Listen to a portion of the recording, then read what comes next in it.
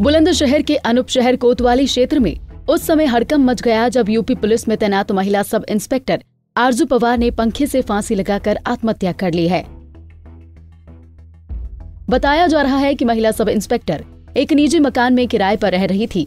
मकान मालिक ने सात बजे जब महिला को खाने के लिए पूछा तो उन्होंने कुछ देर में आने की बात कही। कुछ घंटों बाद जब महिला सब इंस्पेक्टर आरज़ू पवार नहीं आई तो मकान मालिक ने कमरे में देखा कि महिला सब इंस्पेक्टर आरज़ू पवार पंखे पर फांसी से लटकी हुई हैं।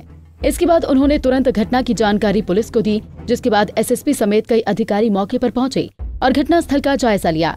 इस दौरान महिला के पास एक सुसाइड नोट भी बरामद हुआ, जिसमें उन्होंने अपनी मौत के लिए खुद को जिम्मेदार बताया है। आज थाना अनूप शहर पे तैनात महिला उप निरीक्षक, कुमारी आरज़ू पवार नाम है उसका। 2015 बैच की थी और उम्र लगभग 30 वर्ष के आसपास थी।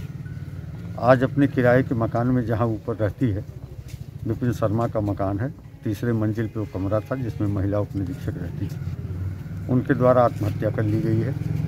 मकान मालिक ने जब देखा कि बहुत देर से उनके फ़ोन की घंटी बज रही थी और उठ नहीं पा रही थी तो ये जांचने के लिए मकान मालकिन जो है ऊपर गई। उन्होंने दरवाजे पर नाक किया, दरवाज़ा नहीं खुला। तो उन्होंने अपने घर के लोगों को बताया। परिवारी लोगों ने पुलिस वालों को सूचना दी। पुलिस के लोग आए और उन्होंने ऊपर जो दरवाजे के ऊपर शीशा लगा था, कुर्सी लगा के वहाँ से देखा तो अंदर पंखे से लटकती हुई दिखी। तत्काल थाने को सूचना दी गई, एसडीएम साहब और अपर पुलिस अधीक्षक देहात, जो इसी क्षेत्र में मौजूद थे, तत्काल मौके पर पहुँचे। वीडियोग्राफी कराते हुए दरवाजे को तोड़ा गया।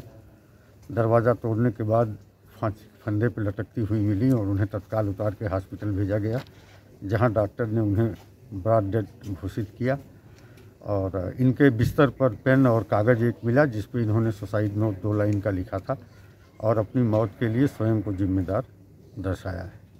फ़िलहाल इसमें और छानबीन अग्रिम वैधानिक कार्रवाई की जा रही है। जानकारी के अनुसार आरज़ू पवार 2015 बैच की एसआई हैं। वो शामली की रहने वाली थी। फ़िलहाल पुलिस ने महिला के शव को पोस्टमार्टम के लिए भेज दिया है और घटना की जानकारी आरज़ू पवार के परिवार वालों को दे दी है। बुलंदशहर से इकबाल सैफी की रिपोर्ट।